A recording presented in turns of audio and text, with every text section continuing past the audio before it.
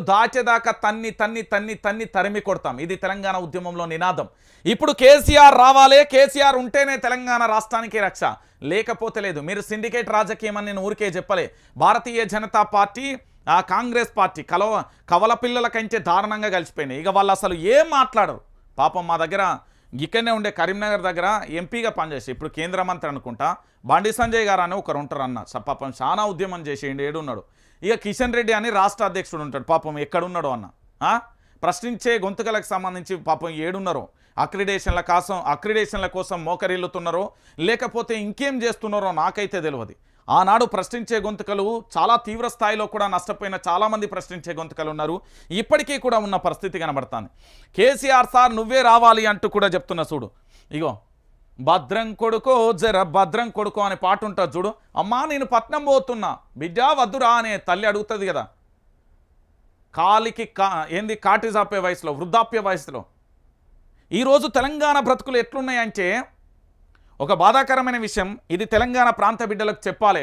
పాపం ఓ బాధితుడు చెప్పిన విషయం హైడ్రాకు సంబంధించి. తన ఊళ్ళో ఉన్న వ్యవసాయ భూమిని అమ్మి ఇక్కడ కొనుక్కున్నాడట. తన ఊళ్ళో ఉన్న వ్యవసాయ భూమిని అమ్మి ఇక్కడ కొనుక్కుంటే ఈరోజు హైడ్రా కూల్చివేసిందట. ఊరికి ఓలేను హైదరాబాద్లో ఉండలేను. ఆత్మహత్య శరణం అంటే కుటుంబం ఉన్నది. మరి నేను ఉగ్రవాదులు కావాలా టెర్రరిస్టును కావాలా ఏం కావాలని అడుగుతున్నాడు ఆయన. ఇది రేవంత్ రెడ్డి సర్కారే సమాధానం చెప్పాలి. నా నేనేమంటున్నానంటే ఇక్కడ జర్నలిజంగా నా బాధ్యతగా నీ దగ్గరికి అన్ని తీసుకొస్తున్నా. ప్రతిరోజు ఈ తెలంగాణలో జరిగే నా మొత్తం అంశాలు కూడా నీ ముంగట పెడుతున్నా. నువ్వు మారుతావో నీ ప్రభుత్వమే మారుతుందో పూర్తి స్థాయిలో మరి తెలంగాణ ప్రాంతానికి రక్షణ చేస్తారో మీ కర్మ నేనేం చేయలేను. కానీ అక్కడ ఆయన జీవితాన్ని మాత్రం ఆగం చేసింది వాళ్ళ కుటుంబం మాత్రం కాంగ్రెస్ జెండా కనబడ్డా కాంగ్రెస్ వ్యక్తి కనబడ్డా ఇక మామూలుగా ఉండదు వాళ్ళకు. చింతపండు చింతపండు చెప్తారు వాళ్ళు. హైడ్రా బాధితులు. చాలామంది దీన్ని మేము సమర్థిస్తున్నాం. హైడ్రా అనేది మంచిది. అరే నాయన నీకేం తెలుసురా? ఆ రోజు పర్మిషన్ ఇచ్చిన అధికారిని ఏం ఎఫ్ఐఆర్లు క్రిమినల్ కేసులు నమోదు చేస్తలేరు. వాళ్ళని ఏం సస్పెండ్ చేస్తలేరు. వాళ్ళ ఇల్లు వీళ్ళకు ఏంది అక్రమంగా పూర్తి స్థాయిలో వాళ్ళు పర్మిషన్లు ఇచ్చినందుకు వీళ్ళని తీసుకుపోయి బాధితులను అధికారుల ఇళ్ళలో ఏం కూర్చోబెట్టలేరు చూడురి మీరు సామాన్యుడే నష్టపోతున్నాడు మధ్యతరగతి వాడే. బ్రదర్ భద్రం బడుగుల చిత్రం. ఇక చూడురి హైడ్రా ద్వంద్వ వైఖరి మరోమారు బట్టబయలు పేదోడి ఇంటిపైకి శరవేగంగా హైడ్రా బుల్డోజర్లు. దుర్గం చెరువు ఆక్రమణలపై మీనమేషాలు. నోటీసులు ఇచ్చిన విషయమే మరచిన అధికారులు. రేవంత్ సోదరుడి ఇల్లు ఉండడమే కారణం. హైకోర్టు స్టేతో ఊపిరి పీల్చుకున్న అమర్ సొసైటీ. ఇప్పుడు ఎవరు చేసేది?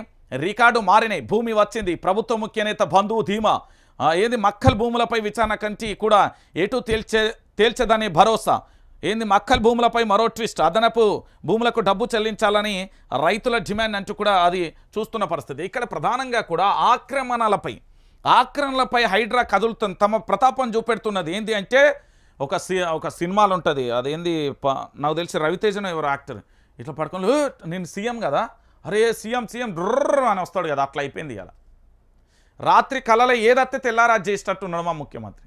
నిజంగా చాలా బాధ అనిపిస్తాను సిగ్గు అనిపిస్తాను తలదించుకుంటున్నాం. తెలంగాణ వాడిని అని చెప్పుకోవడానికి తలదించుకోవాల్సిన పరిస్థితులు రోజులు తెచ్చండి ఆయన. హైడ్రా పేరుతోని తెలంగాణలో ఉన్న మధ్యతరగతి పేద బిడ్డల ఆక్రందనలే అందుతున్నాయి తప్ప ఇక్కడ ఎవ్వరికి ఏమైతే లేదండి నేను చెప్తున్నా కదా తెలంగాణ ప్రాంత బిడ్డలకు సంబంధించి మధ్యతరగతి పేద బిడ్డలకే అన్యాయం జరుగుతూ ఉన్నది. ఈరోజు చాలా మట్టికి కూడా తెలంగాణ రాష్ట్ర వ్యాప్తంగా కూడా హైడ్రా హైడ్రా హైడ్రా పేరు చెప్పి ఎవరి ఎవరి కొంప పేదోళ్ళ బతుకులు ఆగం చేయనిక వీళ్ళేంది బతుకులు ఆత్మహత్య చేసుకోవాలా? లేకపోతే ఏం కావాలి? వీళ్ళ జీవితాలు ఏంది? ఏం చేయాలి?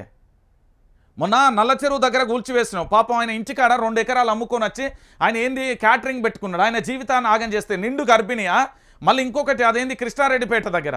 ఎంత దారుణం అది? అరే వాళ్ళ సెంట్రింగ్ కర్ర ఉన్నదట వాళ్ళ భార్య యొక్క పుస్తల తాడు పెట్టుకొని ఇల్లు కుదో పెట్టుకొని సెంట్రింగ్ కర్ర తెచ్చుకున్నాడట పాపం ఆయన. నీ బాంచన్ కాళ్ళు మొక్తా నా సెంట్రింగ్ కర్ర అన్న తీసుకోపోతా అని ఆయన ఒక ఒక ఏడుపు కాదు పాపం. ఇప్పుడు బిల్డర్ దగ్గర పోతే నేనే లాస్ అయినా అంటాను పైసలు ఎవరు ఇవ్వాలి ఆయనకు? నేను చెప్తున్నా కదా. దద్దమ్మ ప్రభుత్వం చవట ప్రభుత్వం. ఏదో ప్రభుత్వం మళ్ళీ దీనికి హైడ్రా. ఆ? అన్ని లంగముచ్చట్లు తప్ప ఏం లేదు.